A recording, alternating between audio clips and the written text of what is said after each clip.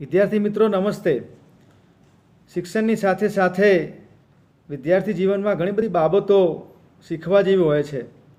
અત્યારે જ્યારે નિશાળમાં નથી આવવાનું, ત્યારે ઘરે બેસી એવા ઘણા બધા પ્રકારના આપણે મહાવરા કરી શકીએ, જેના કારણે આપણું વિદ્યાર્થી જીવન દીપી ઉઠે.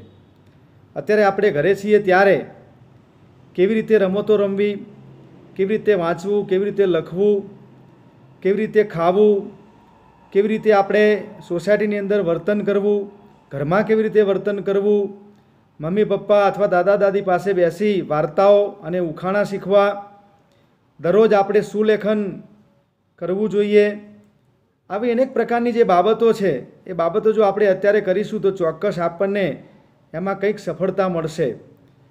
જનરલ નોલેજ પણ આપણે ઘણા બધા પ્રકારે શીખી શકીએ. આપણા આસપાસનું જે વાતાવરણ છે, એમાં ખાસ નદીઓના નામ છે, પર્વતોના નામ છે, આપણા જંગલો વિશે જાણકારી મેળવીએ. આવું આસપાસનું પર્યાવરણ જો આપણે ઘરે બેઠા શીખીશું, તો પણ ચોક્કસ આપણને ઘણી બધી માહિતી પ્રાપ્ત થશે. શાળા દ્વારા પણ આપણને જે જે કંઈ વોટ્સએપના માધ્યમથી પાથું પીરસવામાં આવે છે, એના દ્વારા પણ આપણે બધું ઘણું બધું શીખી શકીએ છીએ. તો આ સમય જે આપણને મળ્યો છે, ત્યારે ભણતરની સાથે સાથે ઘણી બધી બાબતો આપણે શીખીશું તો ચોક્કસ આપણને જીવનમાં ઉપયોગી થશે. જમવાની બાબતમાં પણ અલગ અલગ પ્રકારના જે વિટામિન્સ છે, એ પ્રમાણેનો ખોરાક આપણે જો લઈશું તો ચોક્કસ આપણા શરીરનું સ્વાસ્થ્ય પણ આપણે જાળવી શકીશું.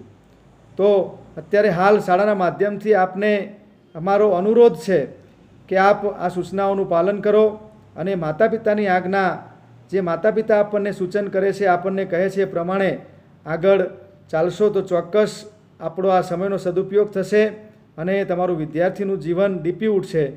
તો આ સૂચનાઓનું આપણે પાલન કરીશું. અસ્તુ ભારત માતા કી જય.